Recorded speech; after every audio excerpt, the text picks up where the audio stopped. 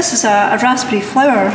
Raspberries have both female and male parts on the same flower, which is handy.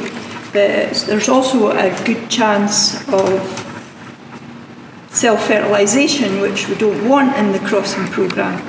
So um, in order to emasculate the, the right parts of the flower anatomy, uh, we've got to understand which, which bits of the flower are which.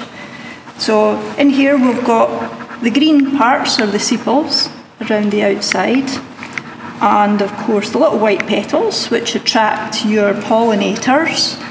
And then in the centre we've got a collection of female parts. That's the pistil with the ovules, style and stigma which receives the pollen and fertilises the the flower, and round the outside with a kind of creamy yellow colour, we've got the pollen itself in the anthers, which forms part of the stamen, which is the male part of the flower.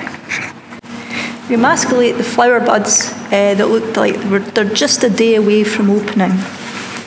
And we estimate where about the, the, the male parts are, and we cut into the flower using a scalpel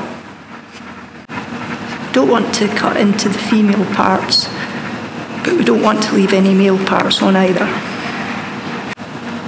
And there we're left with the pistil with the female parts. And in here are all the male parts of the flower, which we'll discard. So in raspberry we prefer to use dried pollen, it seems to work best for us. Uh, in other soft fruit crop, crops, they use fresh pollen. So what we do is we dry out the open flowers for a couple of days to get the source of pollen from our pollen parent. And we just use Petri dish and just tap it to release the pollen. And just Nothing technical or fancy, just conventional breeding techniques. We use the brush to pick up the pollen.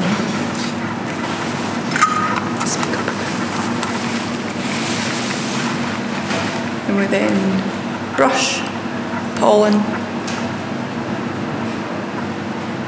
across the end of the pistils.